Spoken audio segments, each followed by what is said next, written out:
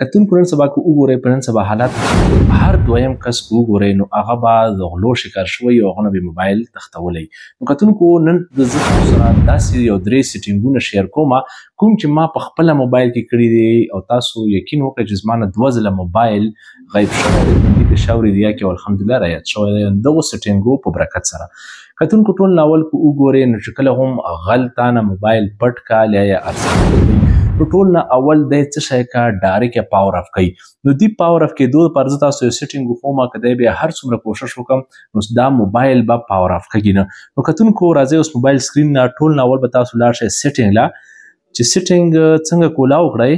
نو بیا به تاسو چې وکړئ لاندې به لاړ شئ پاسورډ ان سکیورټي چې کوم اپشن دی په دې باندې به کلیک وکړئ او لاندې به سیستم سکیورټي باندې کلیک وکړئ چې څنګه سیستم دې باندې مخکې لاړ شئ نو ریکوایرډ پاسورډ ټو پاور اپ نو دا به څه شی وکړي دا الریډي آن دی او تاسو کې به اپی نو تاسو به یې آن کړئ نو چې دا کله آن کړئ نو کتونکو که دا غل هر څومره کوشش وکم نو دا موبایل به پاور ډف کږي نه نو دا به هغه سره په لاس کې موجودي نو کتونکو چې کله دا ټرای ناکام شي نو دای به چا کا ډایرک به پس کوم لاګ بار چې کومي کنټرول بار چې کومي هغه بر لاندې کوي او په ایروپلین موډ باندې ویلګي نو دې پر وخت موږ تاسو چې غړې چې کله د کنټرول بار سیټینګ لري دا اوس ولاړ شي سیټینګ لا بیا به لاړ شي نوټیفیکیشن ان سټیټس بار لا بیا به وای لاک سکرین باندې به کلیک وکړئ دا سویپ ډاون د اول چې کوم اپشن دی چې تاسو کوم ویډیو کړئ دا به تاسو چک کړئ دا به آف کړئ نو چې کله دا آف کړئ نو دی چې هر څومره ایروپلین موډ په لګی نو دا به د کوم کنټرول بار چې دی دا به نه را لاندې کیږي یو دونه بس پاسورډ غواړي کتونکو چې کله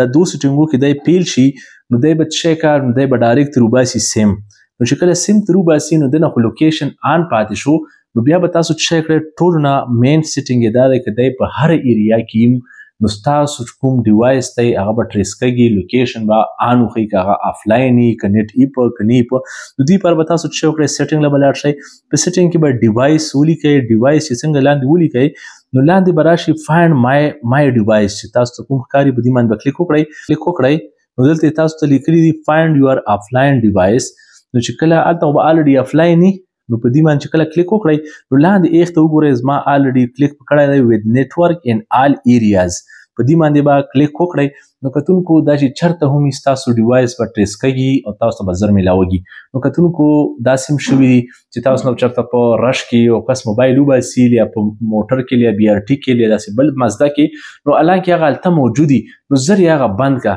مشکل دا سیټینګونه تاسو پکړي نو تاسو چې کله ټری کال پورو کړئ نو هغه ټاله به ډایرک ورشي